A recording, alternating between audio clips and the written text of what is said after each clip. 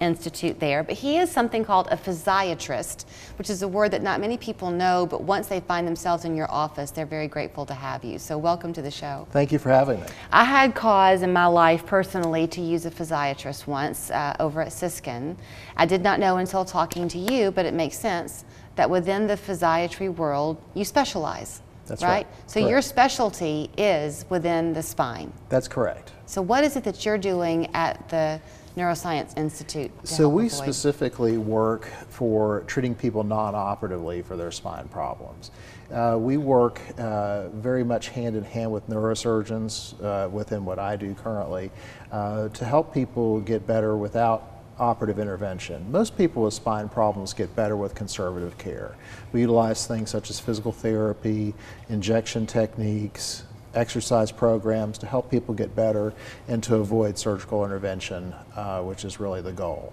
Those that need it, we, we, we help them get the surgery they need. Well, the working hand in hand with the other uh, departments is a real um, common theme you find at Memorial. Y'all like to work together Absolutely. on things. So if you have a patient who comes to you and you are trying these more conservative approaches, but something is just not working, then you can pass off. Correct? Absolutely, and I collaborate with my neurosurgeons all the time on cases. That's the beautiful part of our practice.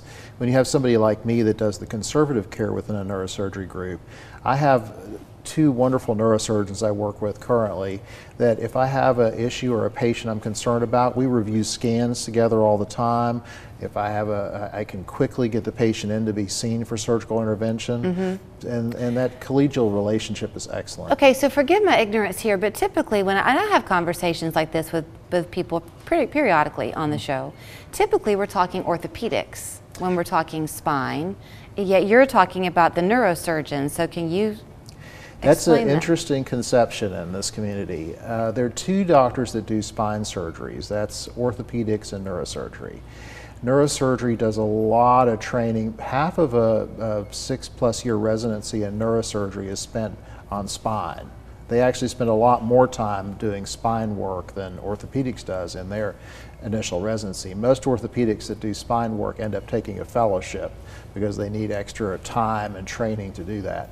Neurosurgery from the very beginning is concentrating on the brain and spine as part of their residency program. Okay, so within these conservative approaches that you're going to take, uh, if somebody, would it be something, I'm going to say as simple as, okay, but as routine, if you will, as um, a slipped disc or something? Absolutely. So people that have herniated discs or commonly known as slip discs and develop what uh, commonly known as sciatica Uh-huh. with nerve pain that shoots down the leg.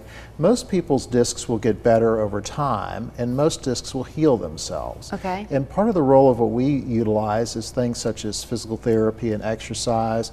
We'll often use injections techniques like an epidural to help calm the inflama- inflammatory process around the nerve to allow better blood flow into the area. Try to stimulate some of Mother Nature's natural healing processes to get better. Okay. Those that don't, we can, uh, they're beautiful intervention, uh, uh, non, uh, minimally invasive techniques that they ha- have developed now that are much smaller surgeries for taking these out. But 70% of people with a slip disc get better conservatively and don't need surgery. Okay, so you do something too called, is it radio frequency ablation? What is that? Yeah, so for people that have developed arthritis of the spine, especially of the joints in the posterior part of the spine called the facets, uh, that have significant back pain that is not relieved with, you know, conservative mechanisms again, physical therapy, home exercise program, uh, uh, that have been dealing with this chronic back pain. What we can do now is through a technique with a very small needle that has a radio frequency wave at the end of it, we generate a small zone of heat which uh, kills the little nerve that goes into the joint. That basically deinnervates the joint so people don't feel the pain back there anymore. That typically will last for a year or more. Over time, the nerve will regrow, but you just can come back and repeat the procedure. It can give people significant relief that have been struggling with low back pain for, for quite some time. I have like a minute left. Um, when you hurt, and you hurt chronically, which back problems often cause, the last thing you want to do is hear, let's wait a while. How long do people typically go through this conservative approach? Um, so, you know, when we have, it depends on what we're dealing with, right? So, if somebody comes in with a herniated disc, we're not waiting a while for that. We're starting very aggressive treatment right from the get go. And people that can't progress within, say, six to eight weeks or mm-hmm. 12 weeks, that they're not better, we've tried the things, or they're getting worse, we move on towards surgical intervention. Okay. And I tell my patients that, but we want to give it at least, most insurances and payers won't pay for anything for six weeks Right. unless they're seeing a progressive loss of function or, or those type of things. So we want to try some conservative treatment, maybe move then to the next stage, which is trying like an epidural or something like that. Mm-hmm. But if those things aren't successful very quickly after that, we can move on towards the more aggressive things. Thank you for the conversation. Oh, so nice to be here today. Thank you for having me. Here's where you will find him, Dr. Paul Hoffman uh, with the CHI Memorial Neuroscience Institute right there at the main campus on Glenwood. The phone number is 206 9480 if you want to call uh, and see if he can help you with any back pain or neck pain, I guess, too. That's right. That you might be struggling with. Thanks. Yes, thank you so much. Feels good to be home. Ashley's fall home sale is going on now. For a limited time, get your home fall ready with up to $1,000 off customer favorites that are in stock and ready for delivery. Or get 0%